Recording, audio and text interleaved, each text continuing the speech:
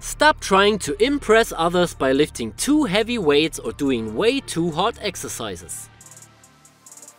Ego lifting limits your potential to build muscle and strength, as well as increases the risk of injuries when doing exercises with improper form. The same counts for high risk, fancy and totally useless exercises that are only good to show off.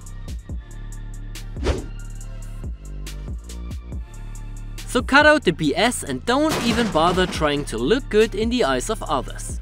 It's about your progress and your health. If you want a no BS workout guide, check our programs on calimove.com.